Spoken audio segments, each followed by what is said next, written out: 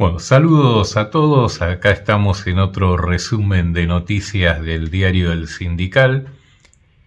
Y en la semana, digamos que las noticias continúan en torno a todo lo que tiene que ver con la política, con la campaña de cada uno de los tres sectores que tienen eh, posibilidades de ganar las elecciones. Y la verdad que luego de analizar algunas de las publicaciones o de las publicidades que están realizando, parecería que se quedaron sin argumentos. A todo lo que se le puede criticar al candidato Javier Milei, eh, empezaron con una campaña eh, que personalmente considero que no aporta nada. Eh, me parece que es bajar eh, el nivel de la discusión política. Andaba circulando por las redes un video donde se lo veía en un escenario festejando a Javier Milei con una mujer con la cual se besaban y enseguida empezaron a decir que era la hermana y no hay nada más alejado de la realidad porque cualquiera que conoce eh, a la cantante Daniela se da cuenta que la persona que se ve en ese video es Daniela cuando era pareja de Javier Milei. Con lo cual, este tipo de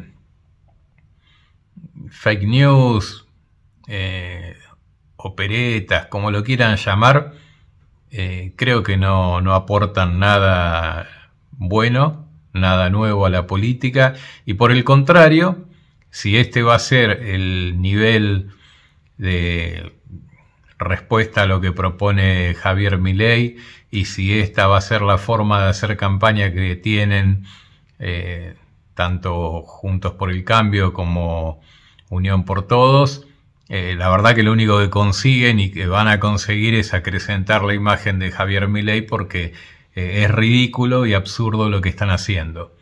Eh, parecería que se quedaron sin propuestas, parecería que no hay creatividad. Eh, a ver, se supone que son dos partidos que superan económicamente por mucho a la libertad avanza y esa capacidad de recursos debería verse reflejado en lo que están haciendo. Lo que están haciendo está mal. Así que eh, Después no, se extrañen cuando dicen que hay una gran parte de la población que no votó y que también eh, votarían por Javier Milei. Con lo cual, eh, más que restarle porcentajes, parece que los porcentajes van a ir creciendo. Y con esto eh, viene la otra parte.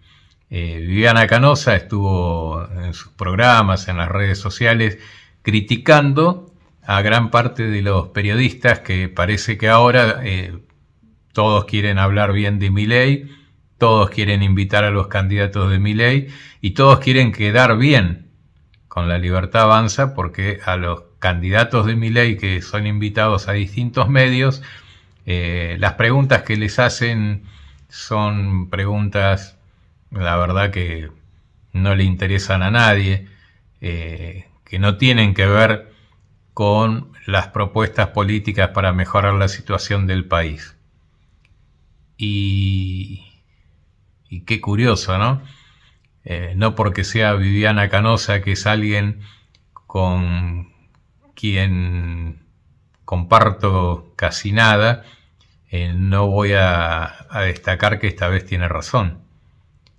Esta vez tiene razón porque es muy evidente el cambio que hubo en varios de los programas a donde eh, se lo invitaba poco a los referentes de la libertad avanza, eh, se les hacían preguntas más duras, eh, había incluso cuando los invitaban una especie de debate con los panelistas o con otros invitados y esto ahora no está ocurriendo. O sea, se nota mucho que para gran parte de los medios eh, es indudable que Javier Milei va a ganar las elecciones. ¿Esto quiere decir que va a ser así? Y la verdad, calculo que no.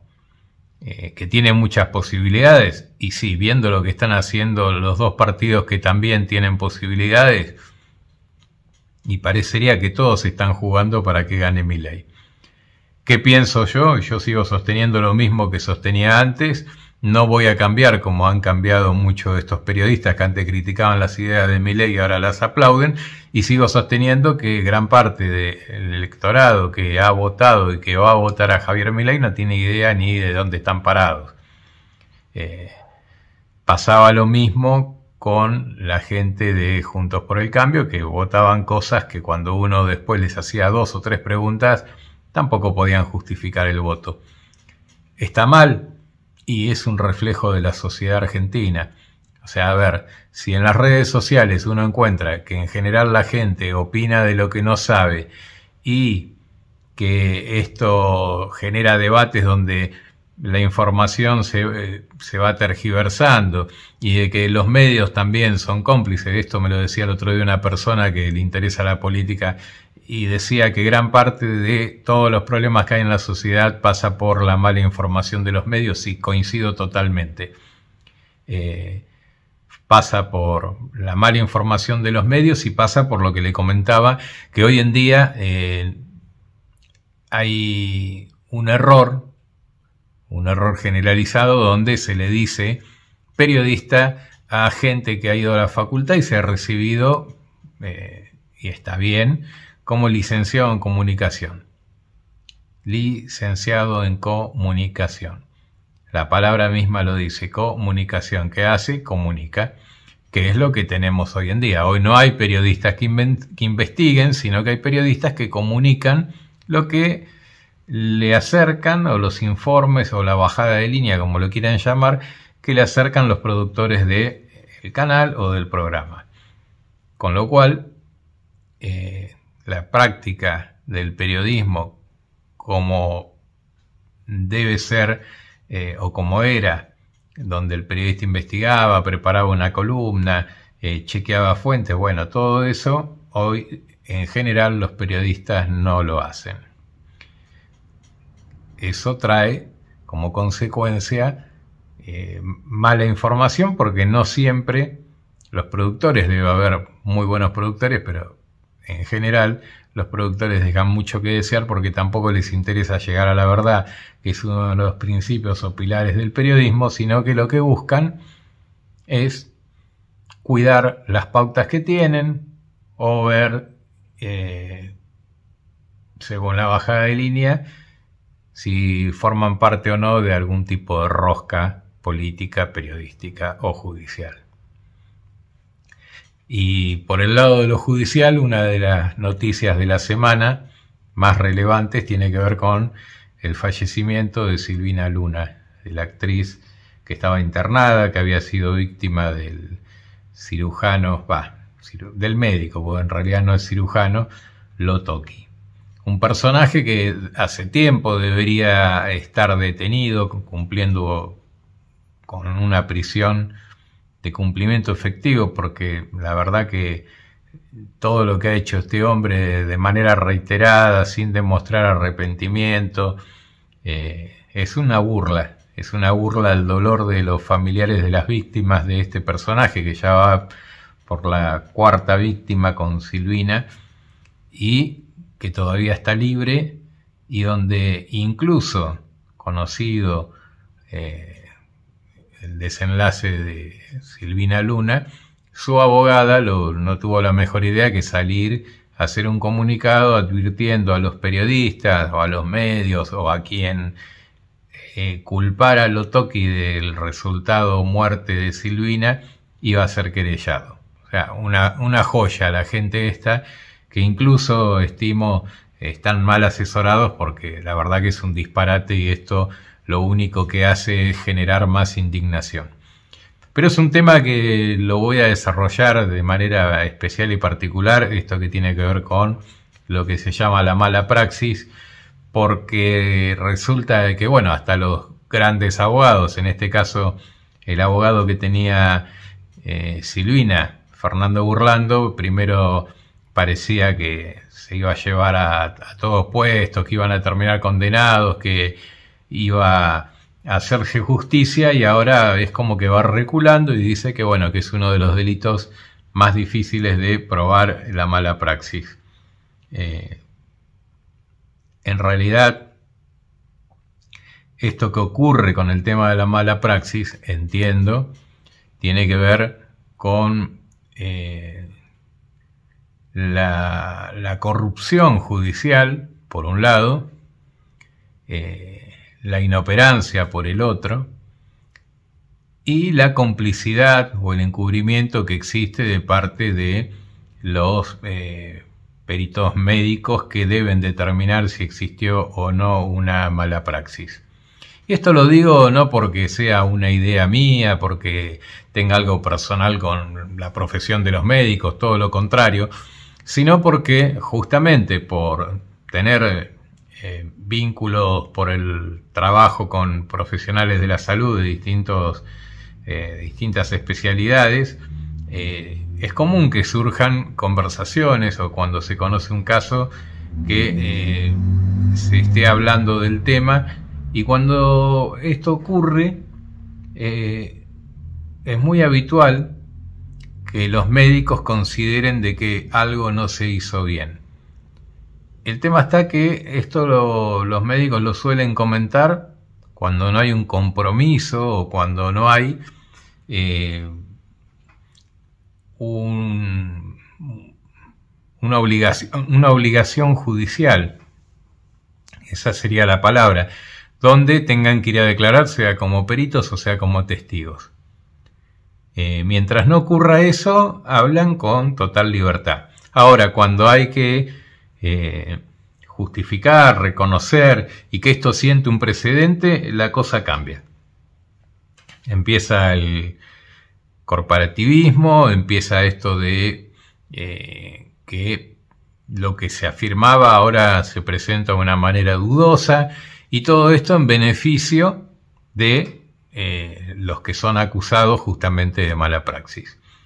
Entiendo que con todos los avances que tiene la medicina y la ciencia, y bueno, no la ciencia, las ciencias en general, no debería ser un problema poder determinar si existió o no mala praxis. ¿Por qué no se consigue? ¿Por qué no se hace? Y la verdad que lo que yo entiendo es que esto es por una cuestión, como lo vuelvo a decir, de encubrimiento. Eh, hay que terminar con toda esta eh, aceptación de creer que, la mala praxis es preferible no denunciarla porque es difícil de probar. Y hay que terminar también con esto de que los abogados esquivan a las malas praxis con la excusa de que eh, esto es una pérdida de tiempo, que es mucho trabajo y que no se gana. En cualquier país eh, que uno quiera eh, tomar como ejemplo, y hablo de países desarrollados obviamente, esto no ocurre. Los médicos son más responsables porque saben que existen consecuencias. Eh, si bien en el mundo entero en general los médicos tienen contratados seguros para evitar tener que responder con su patrimonio, esto no, quita de que reciben eh, serias sanciones. En la Argentina pasa todo lo contrario. En la Argentina eh, quienes deberían controlar o fiscalizar el trabajo de los médicos, que son los colegios de médicos, en la Argentina los colegios médicos lo único que se dedican a hacer recaudar. Es un tema eh, que la verdad que es indignante porque todos los controles que hacen los colegios de médicos tienen que ver eh, con lo que a ellos les interesa, que es saber si los profesionales de X instituto, sea privado o no, eh, están matriculados en su colegio. Y después todo lo que ocurre, las irregularidades, todo lo demás que no tiene que ver con un control de cuántos socios tienen, todo lo demás, y dicho por las comisiones directivas de los colegios que he entrevistado, eh, todos le echan la culpa al Ministerio de Salud, eh, en este caso, de la provincia de Buenos Aires, pero también a igual descargo de responsabilidades en el Ministerio de Salud de la Nación y en el Ministerio de Salud de Cava. Con lo cual hay todo una falta de controles y una cosa rara donde semanalmente se conocen no uno, sino varios casos de eh, mala praxis, de médicos truchos, de consultorios no habilitados, de operaciones realizadas en lugares irregulares. Eh, es demasiado eh, todo lo que ocurre alrededor de la salud de manera espuria como para que los gobiernos digan que no saben. en realidad lo que estimo es que no hay un interés ni en controlar ni en saber mucho menos en castigar. Así que esperemos que no los pedidos de justicia por mala praxis no terminen nada más que en la figura de Silvina Luna, que es lamentable lo que le ocurrió y tiene su familia todo el derecho de que tenga justicia, de tener un resarcimiento, eh, pero que no sea eh, el único caso que genere una discusión mediática y que genere eh, que la sociedad pida justicia.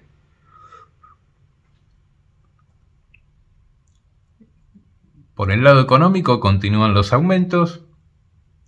Si bien el gobierno salió a, asegurar que se iban a congelar las, tarifas de los servicios de transporte, Mm, todos sabemos que eh, este gobierno es poco creíble y lo que dice puede durar eh, un día, dos días o una semana, pero que en general todo lo que han prometido eh, en un 95% no lo han cumplido.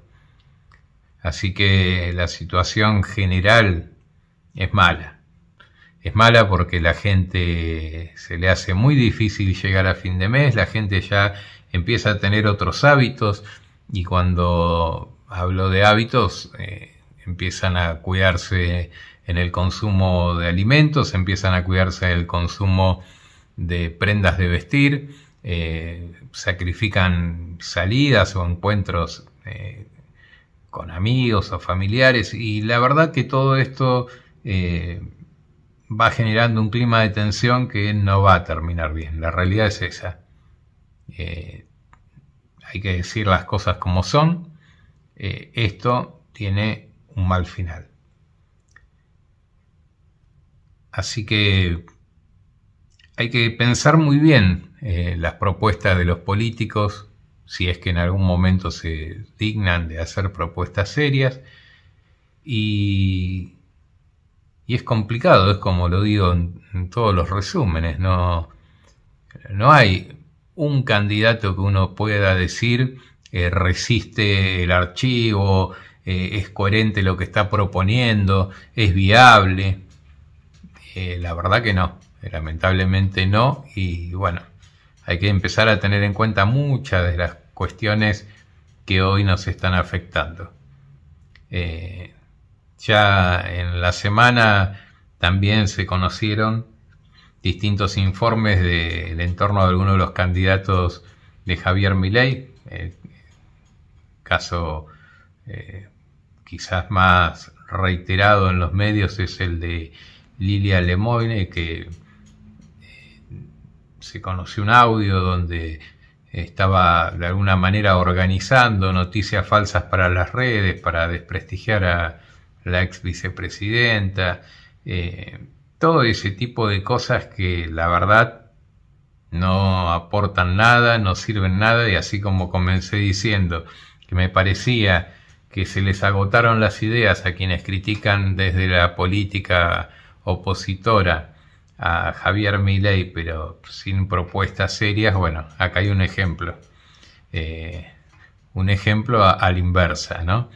Donde una candidata a diputada, que no es poca cosa, del espacio de Javier Milei, tranquila, como se la pudo escuchar, eh, da órdenes y tiene distintos planes que tienen que ver con generar noticias falsas y de paso si podemos ensuciar a alguien mucho mejor. Eh, este tipo de cosas son reprochables y repudiables. Así que eh, genera una gran incógnita eh, Javier Milei por su entorno, por él mismo, por las cosas que antes afirmaba que eran innegociables y ahora parece que eh, no van a poder cumplirse en los plazos que ya ellos venían hablando en programas o en su campaña. Y la verdad que cuando se empiezan a caer las mentiras, eh, es difícil también sumar otro mentiroso más como candidato. Eh, así que bueno, habrá que, ir mirando en estos días y escuchando qué es lo que proponen realmente los candidatos eh, como para poder justificar eh, porque alguien los votaría. No alcanza, entiendo yo, eh, creer que porque ganaron las pasos esto significa o implica que la gente los volvería a votar sin dudar. Eh, la gente está enojada, la gente quiere castigar a los políticos. desde hace muchos años se nos dice que la única forma de castigar a un político es no votándolo. Bueno, eh, digamos que es un castigo menor tal vez, porque la mayoría de los partidos grandes, eh, aunque no ganen la candidatura a presidente, siempre terminan acomodando a su gente en puestos más que interesantes desde lo laboral y obviamente desde lo económico. Así que como resumen, eh, destaco eh, que es necesario un debate sobre los temas de la mala praxis, es necesario un debate sobre eh, cómo los medios están informando, qué uso, que no es el, el, uso con el que fueron pensadas, se le está dando a las redes sociales, donde hay, personajes que eh, pagan sumas millonarias para generar campañas o generar noticias. Eh, digamos que ya que van a invertir o que van a gastar, como uno lo quiera llamar, eh, sería muy bueno que lo hagan, pero dejando un mensaje que sea positivo para todos, que no es lo que está ocurriendo. Así que vamos a ver esta semana eh, cómo continúan los anuncios económicos, cómo se acomodan las cuestiones políticas.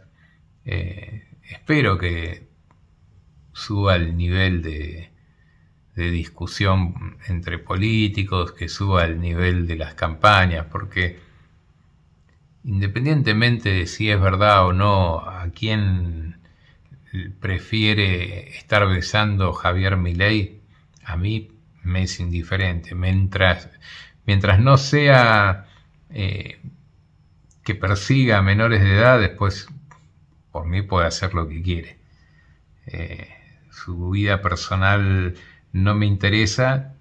Eh, creo que es la vida personal y tiene derecho a la intimidad como cualquier ciudadano, pero también del otro lado, eh, digamos que hace un poco de ruido cuando eh, tratan de bajar la exposición de Javier Milei y sale su supuesta pareja, Fátima Flores, a eh, tirar frases con títulos gancheros como para generar visitas o ventas. la verdad que no está bueno tampoco. Pero son las reglas del juego. Estimo que todo esto eh, está consensuado entre Milei y Flores y será una estrategia más para instalar su nombre eh, en los medios sin importar por qué sea noticia Javier Milei. A ese punto eh, hemos llegado donde a falta de propuestas serias, a falta de poder sostener lo que se venía diciendo, eh, aparece esto de mezclar eh, la farándula con la política. No creo que esté mal que un político salga con alguien de la farándula, sí creo que no está bien mezclar las cosas y generar eh, una puesta en escena cuando lo que se está discutiendo tiene que ver con el futuro de, millones de argentinos. Así que, para ir cerrando, lo mismo que he dicho en, otras editoriales.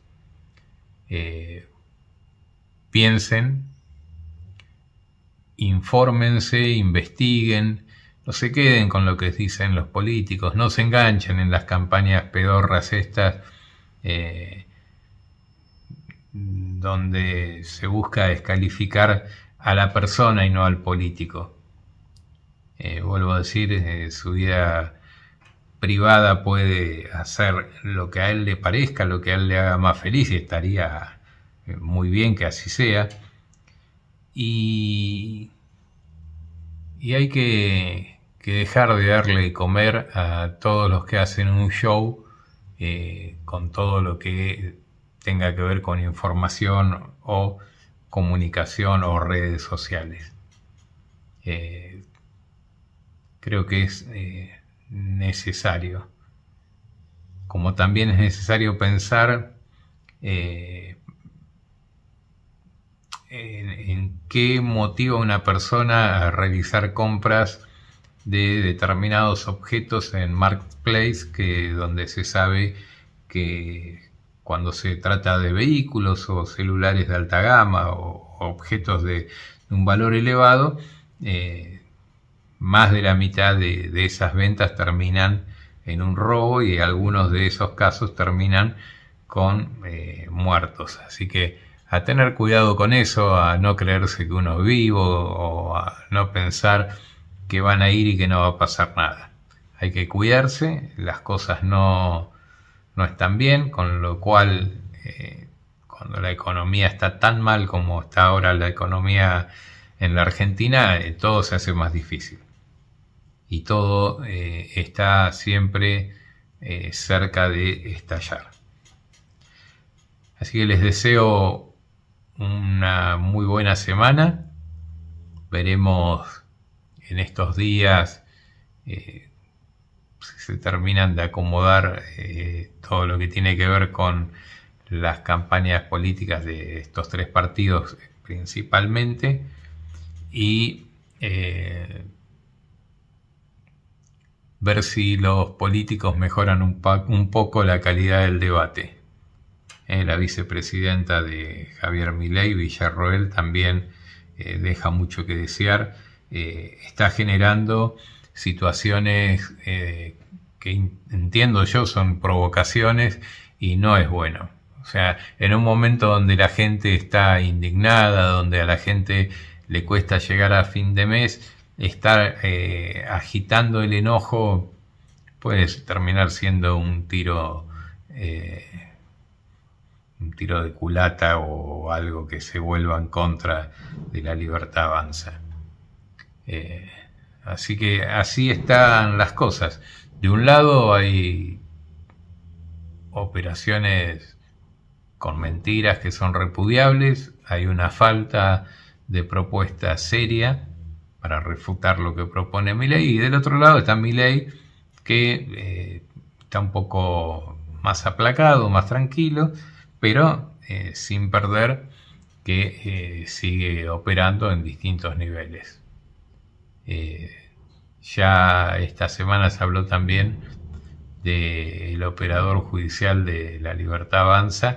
Y bueno, es una cosa que hay que también empezar a mirar bien a, a mi ley para ver si realmente le interesa eh, el bienestar de los argentinos o que el país mejore o simplemente le interesa quedar bien con eh, la gente de su entorno porque su operador político en Comodoro Pi no es ni más ni menos que eh, el hermano del juez federal Lijo.